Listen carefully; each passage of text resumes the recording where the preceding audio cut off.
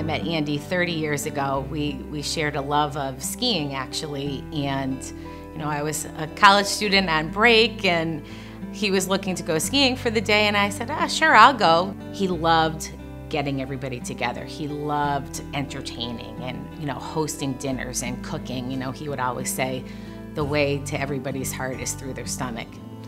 I think what made Andy so endearing was he had the ability to make everyone feel special. He had a heart of gold. Uh, I don't think I ever heard him say a negative thing about anybody.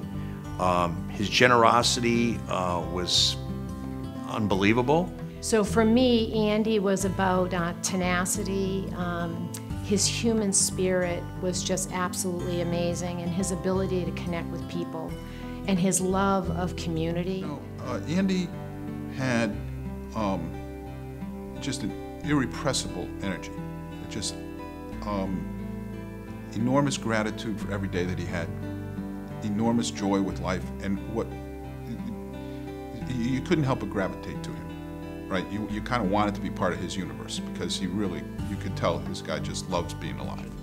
And there was some thought or some talk about wanting to do something um, as a living memorial um, to who he was and, and and also you know became knowledgeable about the fact that the kind of very specialized services and family support that is needed at a very difficult time uh, in, for a family uh, when a loved one is passing, that those were pretty non-existent in the city.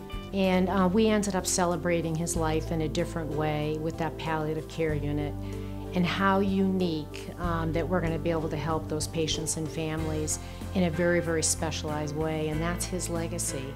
So palliative care certainly can include people who are in hospice, but it can also include anybody who has a serious illness. So if you think about improving symptoms, uh, that's palliative care, and it doesn't necessarily have to be at the end of life. It can incorporate anybody along who has a serious illness. You know, I, I knew that Andy was, and as was I, eternally grateful for the care that he received here.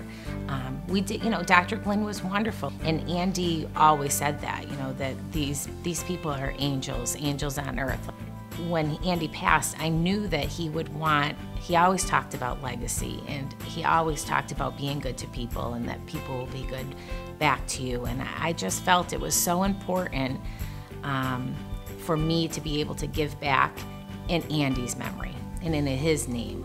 There will be a resource rich unit where there are people that are doing discharge planning, people that are um, spiritual counselors, people that will have time to talk about goals of therapy, people that will have talk about what, what access, what, what, what services need to be created at home, nursing services or hospice, whatever it may be.